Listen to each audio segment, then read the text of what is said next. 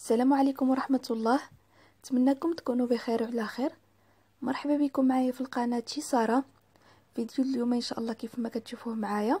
غادي يكون طريقة تحضير السفنج بحال الزنقة ولكن غادي تعملوا عمتي إن شاء الله. من اليد عمتي ماشي أنا اللي غادي نعملو لكم.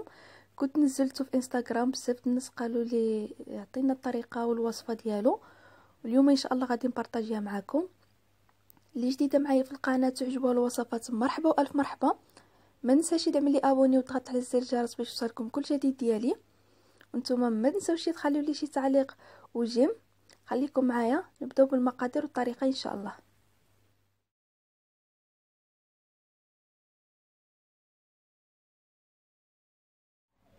بالنسبة للمقادير هنايا عمتي غادي تستعمل كيلو د الطحين وغادي تستعمل هنا الماء سخون أنا غادي نقول لكم في لا فيديو شحال دخلنا كنأكد عليه يكون سخون حيت عندنا خميره الخبز. بالنسبة لخميره الخبز دابا الحال بارد غادي نستعملو 35 غرام ومي يكون الصيف عملو غير 20 غرام وتقدروا تستعملوا حتى أخرى الخميرة حبوب. بالنسبة للملحة غادي نستعملو جوج معالق صغار. دوزو الطريقة بسم الله. هنا عمتي عملت هاد جوج المعلقات صغارين د الملحة.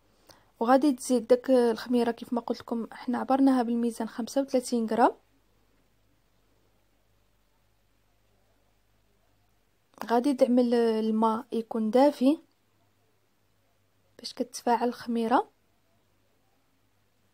وكنت نسيت ما عطيت لكم شي معلقة صغيرة السكر كيف ما شفتوا معايا عاد ضفناها باش كتساعد داك العجين يخمر دغيا وكيتحمروا داك السفنج آه، في المقلة ما كيتعطلوش.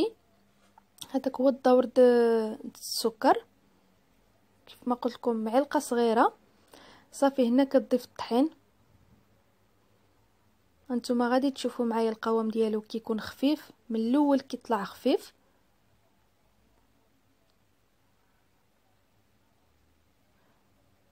أنا ملي كنت كدعجنو كان بان لي خفيف بزاف قلت لها ما غاديش يتشكل قالت لي مين كيخمر ويرتاح كيتشكل وقالت لي السفنج باش يجي لك مزيون هكذاك ومنفوش من داخل خصو ضروري يجي خفيف. شوفوا معايا هي كدعجن يعني أنتم كتشوفوا القوام العجين خفيف ماشي ثقيل وكتجمع وهي كدرد للوسط العجين شوفوا الطريقة ديال العجين كيفاش نية.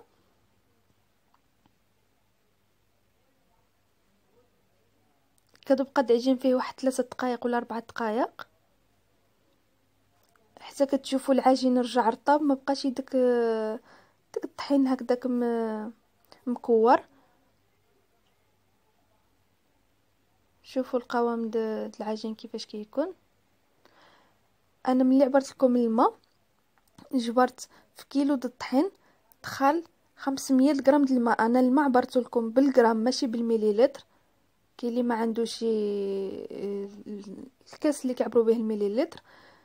آه، صافي هنايا من بعد ما عجناتو داك 3 دقائق عملت شوية الزيت في يده صافي ودهنت داك العجين كامل كتجمع داك الحواشي غادي نخليوه يخمر المده د واحد ثلث ساعة حتى يطلع الضعف الحجم ديالو. بحال هكذا نتوما كتشوفوا معايا.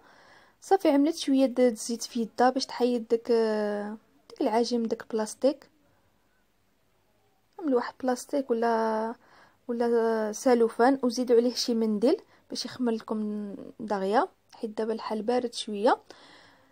صافي من بعد ما خمر عملت قلت لكم الزيت في يدا وبقات كتخرج داك الهواء بهذه الطريقة من داك العجين. كدهز داك العجين ودنزلو في داك البانيو عاود دهزو ودنزلو بهذه الطريقة. شوفوا كيفاش كتعمل. صافي بقات هاد العملية كتعملها واحد دقيقة. ولا شفتوا العجين كيلصق لكم في يدكم عملوا شوية الزيت. شوية باقا غادي تزيد تخدموا هانتوما كتشوفوا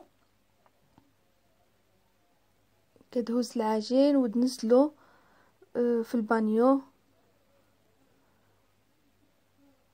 المهم كنتمنى إن شاء الله تكون آه، موضحة في الفيديو الطريقة.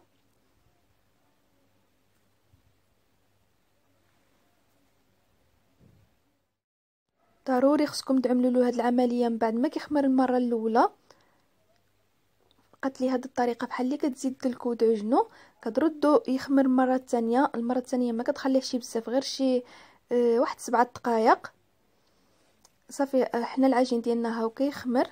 كتوجد الصينية اللي غادي تقطع فيها كويرات اولا غادي تحلل فيها داك العجين. كدهنها بالزيت.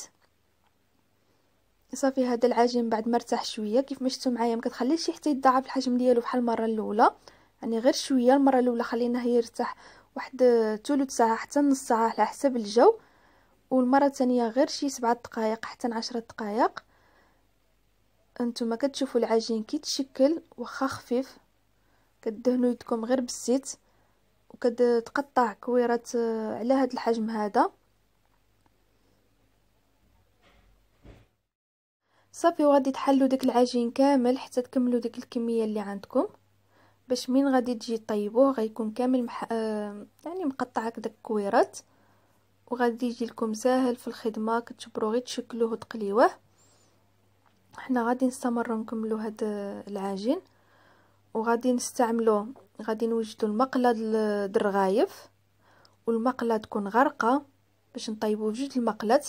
بالنسبة لداك المقلة الرغايف غادي تعملوا فيها غير شوية د الزيت كيف ما كتشوفوا معايا في لا فيديو. عمتي ما عملت شي الزيت بزاف. والمقلة الثانية غادي تعمروها بالزيت خصها تكون آه، عامرة بالزيت. حنا هاد الردومه غادي نعملوها كاملة. ولكن هو هاد السفنج ما كيوشي الزيت واخا غادي تعملوا هاد الكمية.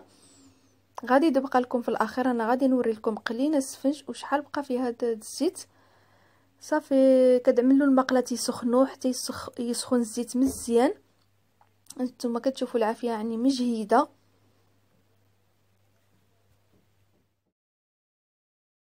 صافي من بعد ما سخنوا هاد المقالب جوج بيهم عمتي غادي تبدا تشكل السفنج دهنت شوية الزيت في يدها باش ما كيلصقلاش العجين حيت هو خفيف. شوفوا الطريقة معايا.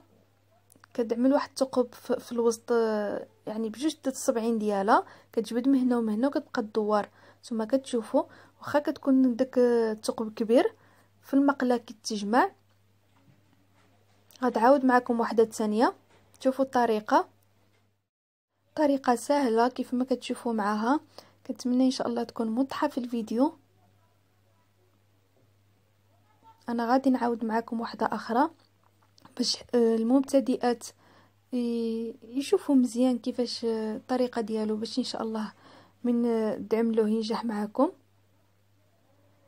صافي دابا عمتي غادي تستمر تكمل هاد حتى تعمر هاد المقلة كاملة. وغادي تشوفوا كي تضاعف الحجم ديالو يعني كي تنفخ. أنتم غادي تشوفوا معايا دابا في لا فيديو.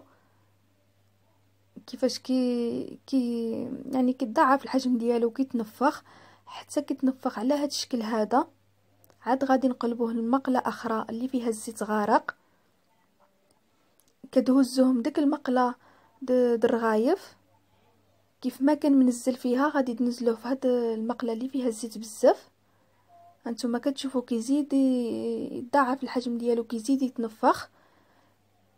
نفس الطريقة اللي كيعمل السفنجي برا. يعني السفنج اللي كيتباع برا كيكون عنده المقلة كبيرة وكتكون مدردبه شوية يعني معلية واحد اتجاه واحد اتجاه ما معلياشي كينزل السفنجة في الأول في الموطع اللي ما فيهاش الزيت بزاف حتى كتنفخ وتضاعف الحجم ديالها وكيهبطها بديك الحديدة الموطع اللي فيه الزيت بزاف. حنا ما غاديش نقدروا نعملو فحالو حيت ما عندناش مقلة كبيرة ما عندناش داك الفرنو غير على المجمر ديالنا عادي. هانتوما كتشوفوا عملنا في المقلة درغايف حتى كيتضاعف الحجم ديالها. كنهزوها كيف ما كانت منزلة في المقلة درغايف وكنعملوها في المقلة اللي فيها الزيت حتى كتزيد تتنفخ وتضاعف الحجم ديالها. كتحمر من تحت كنقلبوها تحمر من الوجه ديالها. صافي من بعد كتقطروها. من الأحسن من تقطروهم عملوهم في شي شبكه ماشي شبكة شي حديدة. د عندكم الميكروندا ولا ولا شي شواية.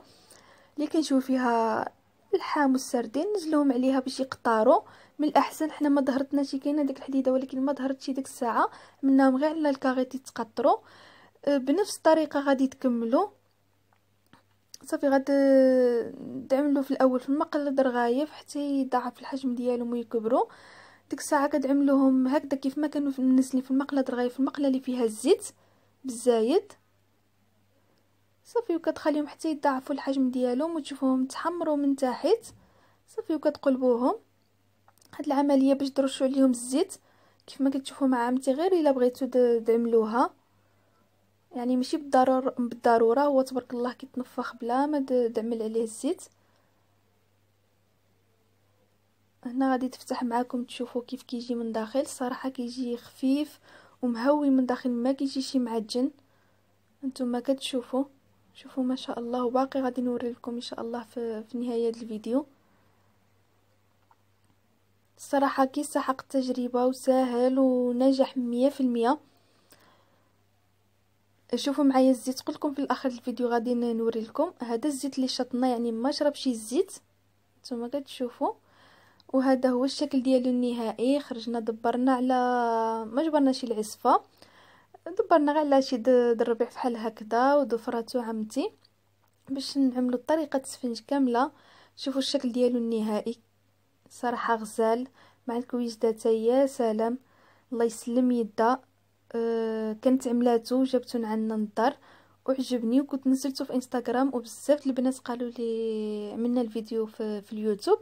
وقلت نبارطاجيها معكم كنتمنى إن شاء الله يكون عجبكم لا فيديو. بارطاجيوها حتى نتوما مع صحابكم وحبابكم باش اللي ما كيعرفش يتعلم الطريقة هاد السفنج بحال الزنقة يعملها. أه كنبغي نشكر عمتي نقول الله يجازيك الله يجازيك بخير وشكرا بزاف. كنتمنى إن شاء الله نتوما يكون عجبكم. ما تنساوش تعملوا لاجيم وتخليو شي تعليق إن شاء الله وشي دعيوة ليلى إن شاء الله يا ربي. أه نخليكم إن شاء الله حتى الفيديو القادم.